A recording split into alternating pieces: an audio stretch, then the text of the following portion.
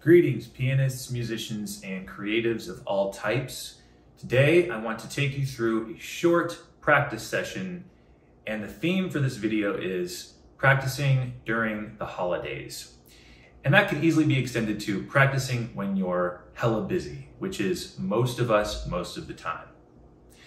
Now, I want to preface this by saying if you're a professional musician, you should, and no doubt will, allow yourself to be guided by the gigs that you're playing, meaning that the repertoire of your gigs is usually and largely going to dictate what you practice when you do practice. And that's great. However, a lot of times there's going to be other types of things that you want to practice outside of the gigs that you're playing so that you can get better at things that you individually want to get better at, which may or may not be dictated by the gigs you're playing. Also, if you're not a professional musician, this might be useful because it can give you, it can serve as a sort of maybe hopefully inspiration for you to be able to, like myself, have a list of things that you want to work on for yourself and to be able to work on those things in a relatively short period of time. So let's dive right in. Today is Wednesday. I've got a gig tonight at the Light Show at Mozart's Coffee in Austin, Texas. I've got a pretty busy gig. I'm headed to Jiu Jitsu in about uh, 10 minutes. And so I'm going to do a 10 minute practice session. I'm going to kind of walk you through it and explain exactly how I, eh, not how, but exactly what I'm doing and why I'm doing it. And hopefully I won't talk too much and it'll take 10 minutes of focus practice that I can explain. So here we go.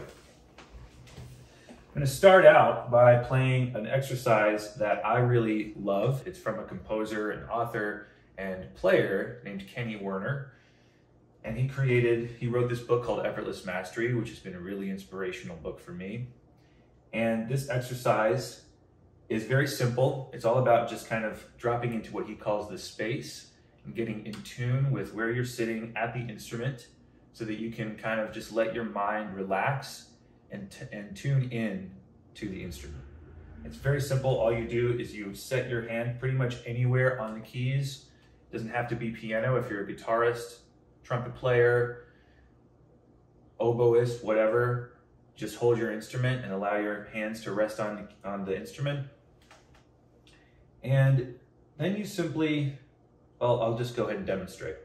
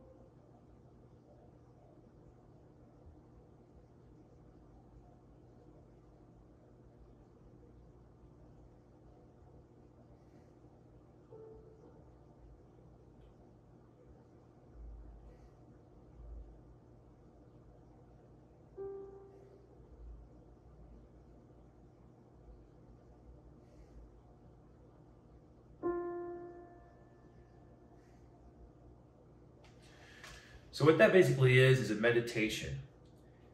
I am lifting up my finger, each of my fingers, and I'm allowing it to drop on its own onto the keys. If it makes a sound, great. If not, that's fine too.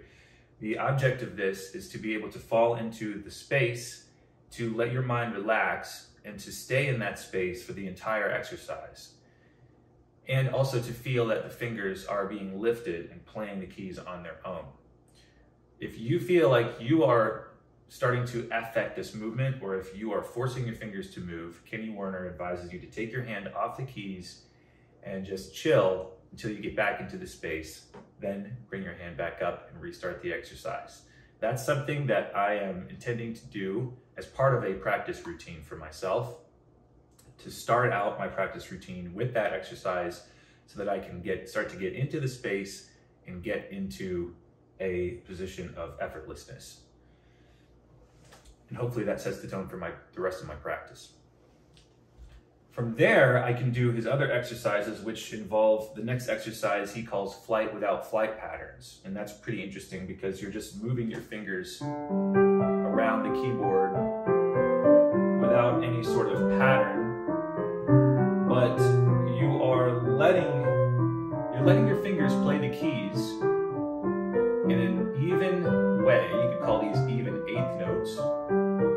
not judging the notes and not trying to make anything necessarily musical, but sort of just playing random notes, flight without flight patterns. And notice how I'm able to talk and think and do this exercise at the same time. It's because I'm not expelling any thought on, on what I'm playing or why I'm playing it. I'm not trying to make it mean anything just a way to get out of my head and set the stage for impartial playing. Yeah, so that's a cool exercise I like to do too. Kind of frees my mind a little bit. So let's see how much time we have. Well, we only have six minutes, so uh, I think it's now time to go on to the, the meat and potatoes of what a short practice session would be. This is a great book. I love Hanon, uh, The Virtuoso Pianist. This, this is a great book because no matter what level you're at, uh, well, I would probably not recommend it if you're an absolute beginner, but if you're a later beginner or intermediate, this is fine. Even advanced, this is fine. Whatever genre or style you specialize in, whatever classical, jazz, rock, this is all good stuff. It's very, uh, it's technical and it is it takes you, it takes both of your hands through sequences up and down. Uh, and I enjoy it because it's a great way to warm up. And it's a little more exciting than playing scales. So I love scales too. Scales are always great. Uh, however, I like Hanon because it's kind of, uh, it shakes it up a bit. So I think last time I left off with this Hanon, I was on number 12. What I like to do is just kind of play the exercise, not too fast.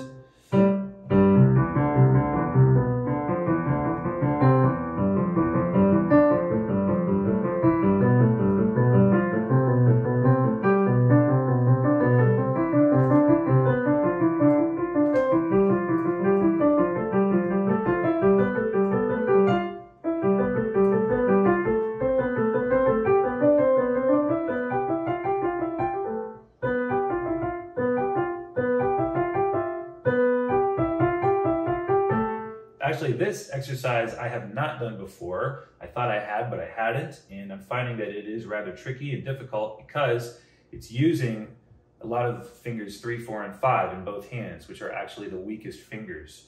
So I'm liking this exercise a lot. I think I'm gonna start doing this hopefully every day.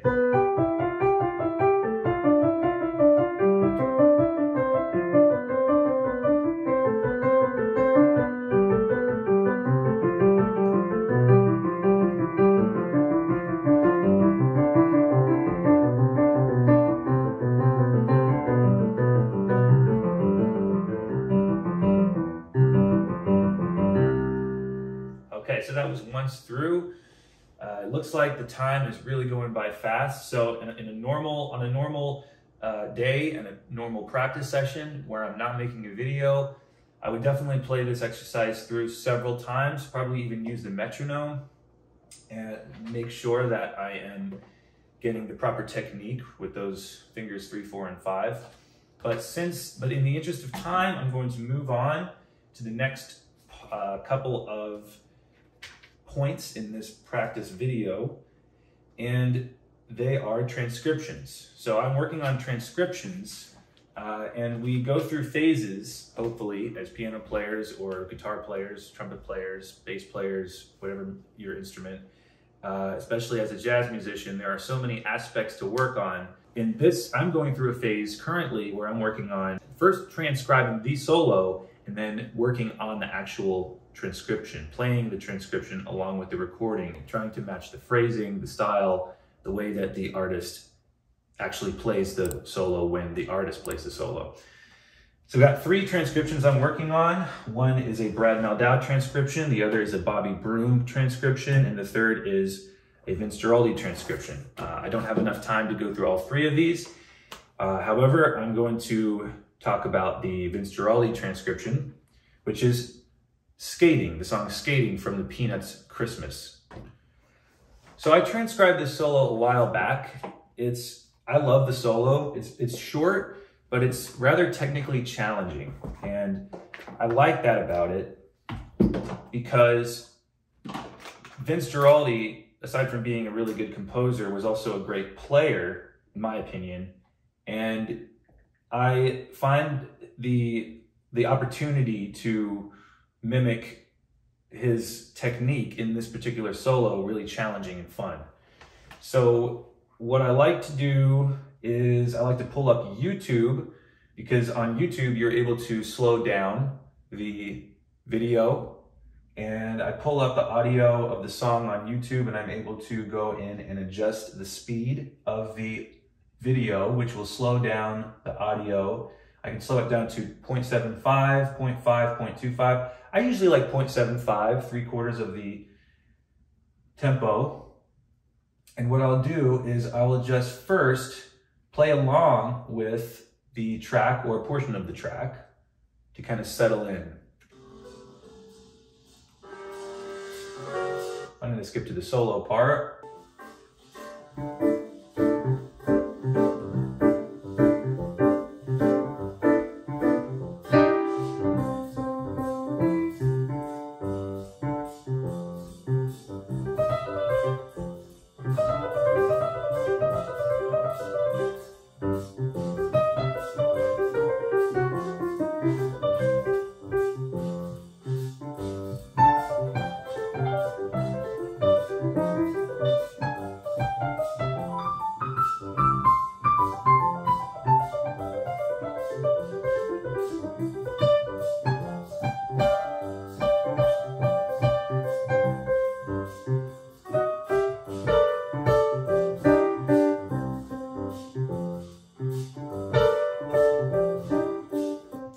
So that's that's more or less there at that speed. I have practiced this at that speed for a couple of days, so I feel pretty confident there.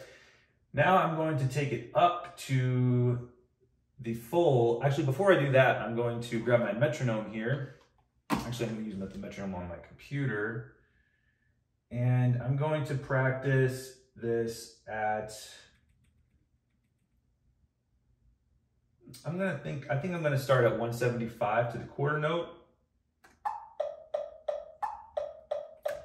Gonna change it to three, four. So a little slower, a little faster than the 0.75 setting on YouTube, but slower than the full tempo, slower than the final tempo.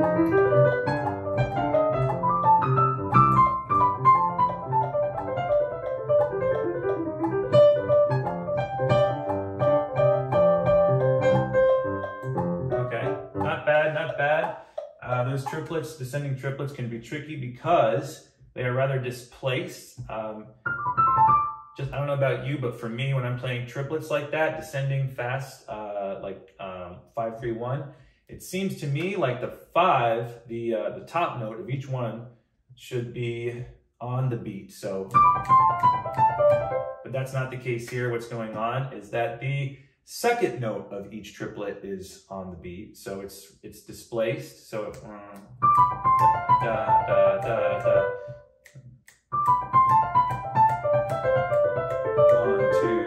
So it's it feels a bit slightly off from what the what I might consider the more natural feel to be, which is why this is tricky, and also why I find it very beneficial to slow that part down and gradually speed it up. So I'm gonna gradually speed up, but in increments of five. So the next tempo on my metronome is gonna be 180. I'm gonna start a little before. I'm gonna focus on the triplets now, but I'm just gonna start, I'm gonna start on the on that long phrase before the triplets.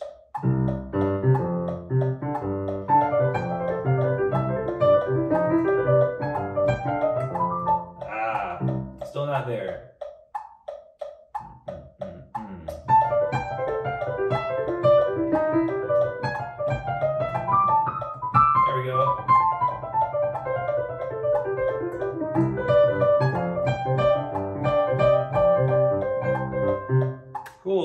Getting there, and you can see how with incremental acceleration, moving the metronome up by five clicks each time you master it, uh, you can gradually get it up to the speed that you want, even a very tricky passage such as this one.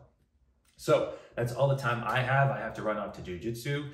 Um, I'm going to be able to get some more practice in later, but not specifically with these this stuff. It's going to be with different content, different repertoire that I will have to play tonight. But I wanted to get this in today, and I wanted to shoot a quick video so I could give you guys an example of how I would how I would like to be able to conduct a 10 minute, a short 10, 15 minute practice session of things that I want to do. So thanks for tuning in. Uh, if, if you find this interesting and this is something that you would like to learn how to do, short practice sessions where you get to practice what you want to practice in an efficient way, feel free to check out my Discord group. It's $7 a month. I offer content regularly and including private videos, unlimited Q&A, and personalized support, as well as the support of the community, which is arguably the most important part of the Discord group. You get accountability on your journey to learning piano, uh, whether you're learning piano from scratch or you're getting better, you're, you're wanting to level up, you're already a decent piano player, but you want to level up. Feel like this Discord group is going to be really good for you, so check that out. It's going to be in the link below. Uh, thanks for tuning in, and I'll see you guys in the next one. Merry Christmas. Happy holidays.